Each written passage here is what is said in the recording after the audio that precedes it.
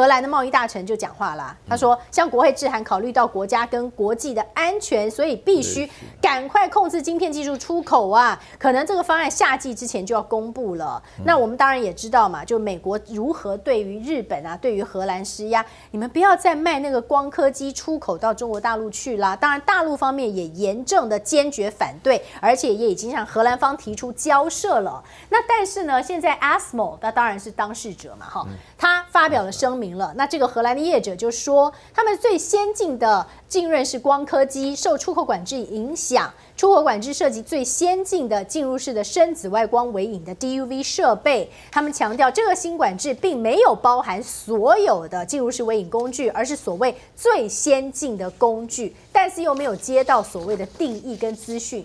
话讲成这样的话，就是让你觉得说，哎，其实他们好像还是有一条活路的啊。上有政策，我下有对策，是这样吗？老师，这个荷兰的光刻机的话呢，目前为止它技术有两种了。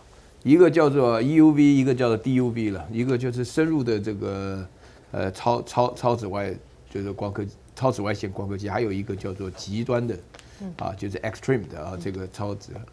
那目前为止的话呢，这个 E E EUV 的话呢是在属于就是说是不准出口的行列当中。那荷兰的这个商贸部部长做这个决定呢，我觉得他有几个有几个假设，这几个假设其实都站不住脚了。啊，第一个的话呢，就是说，呃，他会觉得说，这个管制有效的话，意思就是说你中国自己搞不出来了。嗯。啊，这个这个他自己就这个假设这样子。是。啊，但是这个心里我们心里都明白嘛，因为这个发的这个比尔盖茨他盖茨他就说过，你这样子搞法只会让中国这个弯道超车了。嗯。啊，这个这个其，然后第二个的话呢，就是他自己做了一个区别的话，但你要了解，像 S S 这种生产的东西，它这种光刻机能卖给谁呀？啊，人家公司 生产卖给谁呀？那墨西哥吗？嗯，就不可能去买这种东西嘛。嗯，但是他的顾客都是固定的嘛。是啊，这这自己心里很明白。而且这最大的市场，就是说，如果不卖中国，你基本上的话呢，你那个何必再搞这个 EUV 呢？你基本上的话，你你不卖的话呢，那那谁买呢？而且这样会不会让 ASML 说，我现在赶快卖吧？呃，不是，他这个意思就是说，他这个假设是错误的嘛。就是说，你自己这个东西这么先进的话呢，对不对？所以说跟着美国、日本在搞这个啊。然后还有第三个最大的问题就是说，他们自己的完完全全就是。他这个脑袋很僵化，认为自己那个呃科技上的优势可以维持很长一段距离。但是我我我最近就是发觉，因为我在台大有朋友，他们在被请到大陆去谈到这个量子计算机啊、量子这个设备啊、量量子的这种呃电脑啊，或者这等等的哈。就大陆现在，当然我不能够讲说马上就会弯道超车。嗯。但是大陆现在激发了一种就是科技业受到打压的这种情绪。啊，当然了，我不能够说是这个激发了非常，我不能够说它一定成功，但是大家呢应该要了解，就是在最困难的时候，没有原子弹的时候，啊，很多人啊，包含钱学森啊、三钱呐，啊，他们呢都是基于爱国的心理啊，把这个事情都做出来了。所以这一点，我觉得有的时候，我觉得说。美国这个打压，现在大家会发觉，美国在科技上的打压是，说不定是个好消息。嗯，呃，是不是？因为你原来的话是觉得世界分工的话，他就懒得搞自己的。你现在的话，他一打压以后，他发觉从此西方国家一点信赖感都没有了。美国、英国还有澳洲，别忘了，就是这个 AUKUS 啊，三国的领袖下周宣布。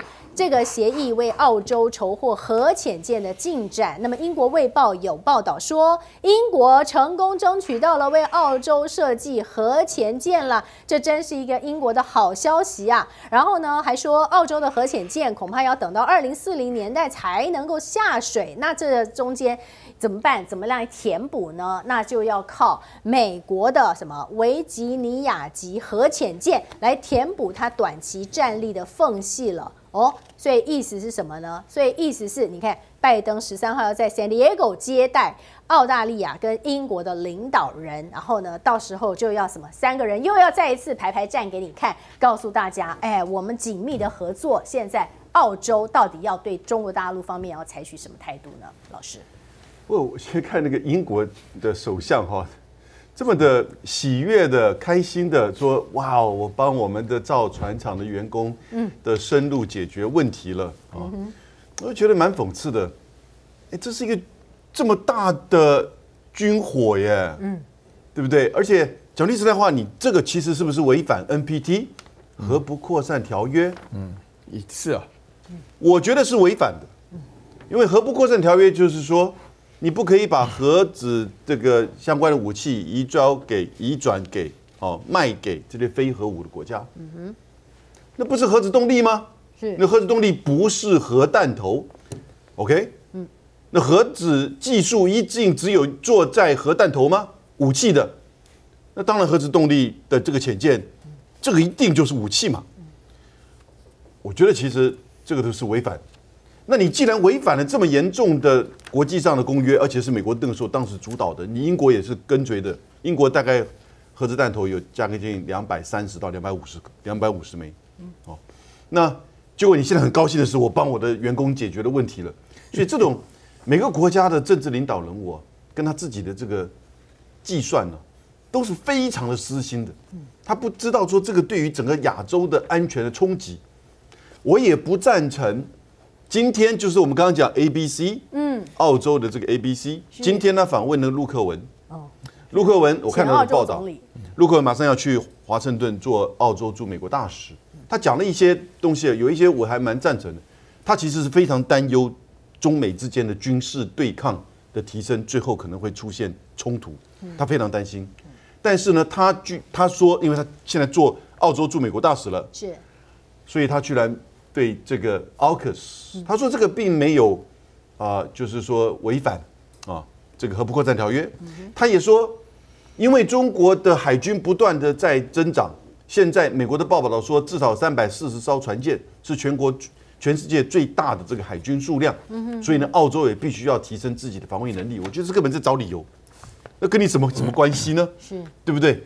那最严重的，他是说，中国大陆采取的是 no first use，嗯，也就不首先使用核子武器。对，啊，中国大陆核子武器如果依照美国的解放军报告说有四百枚，嗯，啊，但一般国际上认定大概是三百五十枚，嗯所以因此呢，他说这个 AUKUS 并不会成为中国的核武的攻击目标，好、也就是这些潜舰，嗯，啊，那这就是整个都在找理由。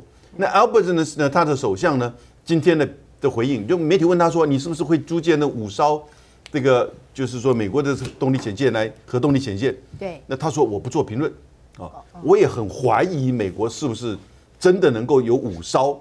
你哪里去找五艘？美国现在要做 M，要给这个乌克兰 M one 的坦克车都还要新造的嘞。如果这五艘可以新造，我们干脆不是帮澳洲去做了嘛，对不对？美国哪里挪出来这个五艘？那事实上，美国现在的的确确，接下来这五到十年呢、美国自己本身的军备面临到严重的青黄不接跟维修的问题，所以他难你在这个时间点去帮，就是说澳洲去做这个东西？嗯，因此我觉得这整个基本上就是有那种大的是为了印太战略把澳洲卷进来，有那种就是为解决自己的军工产业哦选民的这种生计问题，有那种就是要合理化自己本身哦，其实是帮美国在做副警长哦，买这个违反 NPT 的这些核子动力潜舰啊，违这个那当然是在针对谁？那针对日本吗？针对菲律宾吗？当然是针对中国大陆的海军。但是呢，他把它解释为这个其实是对方的挑这个威胁增加，我们不得不回应。那同时呢，也不会成为对方的就是说这个攻击目标，这个逻辑就不对了，对不对？如果你是要回应，那怎么会不会成为对方可能的攻击目标呢？嗯，所以整个这个逻辑，它完全的都在自我自圆其说。但是呢，我觉得实在是漏洞百出。海皇 XO 干贝酱这款干贝酱呢，里面真材实料，比方说它有这个严选的大干贝。那么另外呢，在这个里面，你还可以吃得到这一颗一颗的这个鲍鱼，非常非常的新鲜，而且肥美。欢迎大家可以利用我的 CTI 七九八的代码来上网代购。